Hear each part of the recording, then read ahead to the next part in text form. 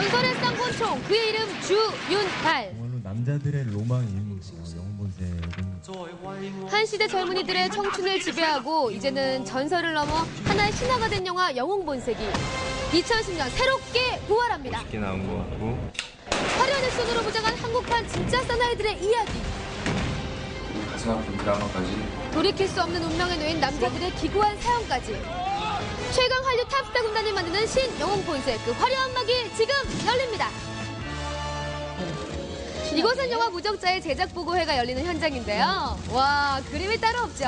그야말로 수트의 정석을 보여준 훈남 본색 네 남자를 제가 한꺼번에 만나봤습니다.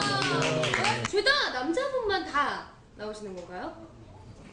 죄다 이 순놈들만 나오고 하네요, 약간. 거칠었죠. 거- 예. 네. 혹시 여성 관객을 노렸다는 그런 약간의 어, 그런 로- 소문이 있던데 몇 대 몇 정도의 여자가 올 것 같나요? 한 10명 중에 퍼센테이지로. 네가 전문이잖아. 좀, 전문가니까 그러지. 넘기세요 이렇게. 아, 전문의 의견으로는 네. 한 7대 3 정도는 되지 않을까. 대한민국 여심을 뒤흔들 내 남자의 영화 무적자. 나도 탈북 헛갈린 운명에 놓이게 된 두 형제의 기구한 사연과 의리를 위해서라면 목숨도 아끼지 않는 두 친구의 이야기를 그리고 있는데요. 사고 나빛네 배신과 음모 속에서 강호의 의리를 지키기 위해 최후의 일전을 맞이하는 내 남자. 하지만 무엇보다 이 영화에 주목해야 하는 이유는 따로 있었으니 바로 바바리 코트와 성냥개 변화로 한 풍미했던 추억의 영화 영웅 본색을 리메이크한 작품이기 때문입니다.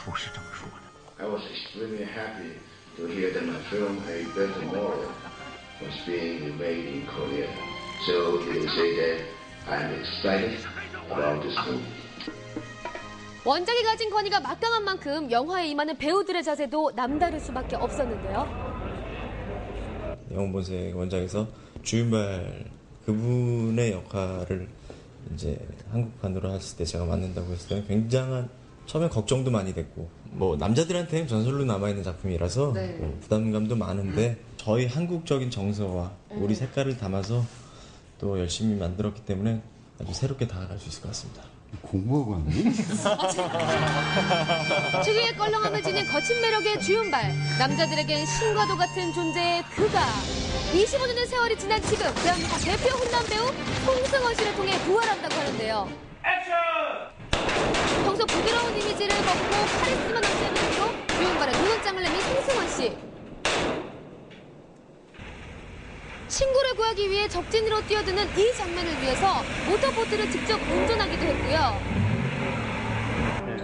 거기에 야 정말 로맨틱한 매력까지 현대판 주윤발의 변신 정말 멋있죠? 한편 그의 단짝 친구이자 조직의 맏형인 정용역에는 주진모 씨가 캐스팅돼 열연했다고 하는데요. 의리로 뭉친 두 콤비의 모습 정말 기대가 됩니다. 두 분이 정말 피보다 진한 어떤 우정을 나눈다라는 얘기를 들었거든요. 실제로 두 분 사이는 어떠세요? 친하세요? 그 정도로? 아, 예, 뭐 아주 어색하고 좋아요. 조현우 씨는요 악역 연기에 도전을 하셨잖아요 이번에. 수고했다 사람 죽이느라고 이번 영화에서 피도 눈물도 없는 냉혈한 건달로 변신한 조한선 씨, 친구를 배신하는 악역을 맡았고요. 반면 이에 맞서 싸워야 하는 김광우 씨는 가족을 배신한 형을 용서하지 못해 끊임없이 갈등하는 동생 장우경 역을 소화해냈다고 합니다.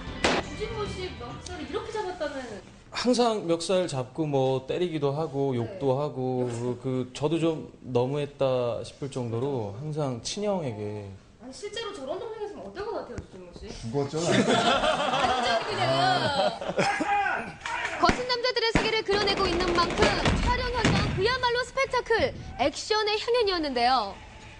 헐리우드 버금가는 최첨단 무기는 물론 배우들의 몸을 사리지 않는 열연으로 리얼리티를 극대화시켰다고 합니다. 한선이가 바로 옆에 있던 자동차가 폭발해야 되는 상황이었는데 예상보다 폭발이 워낙 세가지고 한선이가 정말 많이 놀라고 좀 예. 저는 액션이 제일 없는데 네. 제일 죽을 뻔했어요 솔직히 내가 본이 사람의 액션 씬은 어 진짜 그립니다. 하나, 둘, 셋. 와 만장일치로 송승헌 씨가 뽑히셨어요. 송승헌 씨의 멋있으라고. 액션 씬에 대한 네. 장비의 투여도가 네. 저 한 열 번 찍어도 되는 느낌이에요. 한 번에. 영화 지락비가 막 들어가는. 아, 예. 근데 다 나름대로 액션 장면들이나 하는 개성들이 있기 때문에 니께 제일 멋있어.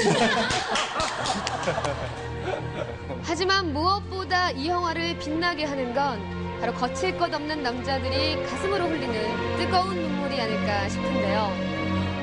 배신과 오해로 어긋난 내 남자의 운명 과연 어떻게 될까요? 내 남자의 정말 뜨거운 그 관계, 절절한 그런 이야기가 주가 돼서 우리 영화의 힘인 것 같고 비교를 해서 보신다면 더욱더 나은 영화라고 확신하니까 무장자 화이팅!